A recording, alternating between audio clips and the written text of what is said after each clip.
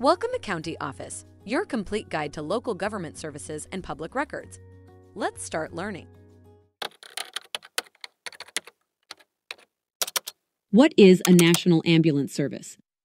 A National Ambulance Service is a government run service that provides emergency medical care and transportation to those in need. It is responsible for responding to emergency calls, assessing the patient's condition, and providing medical treatment on site or during transportation.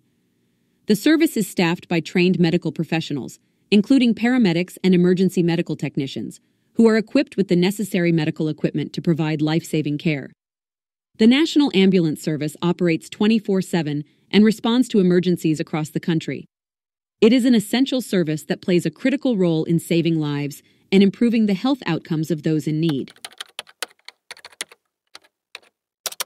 Take a look at the links in the description below to learn more. If you have any questions or want to share your thoughts, leave a comment. We're here to help. Thanks for watching our video. Be sure to like, subscribe, and leave a comment below. We'll see you in our next video.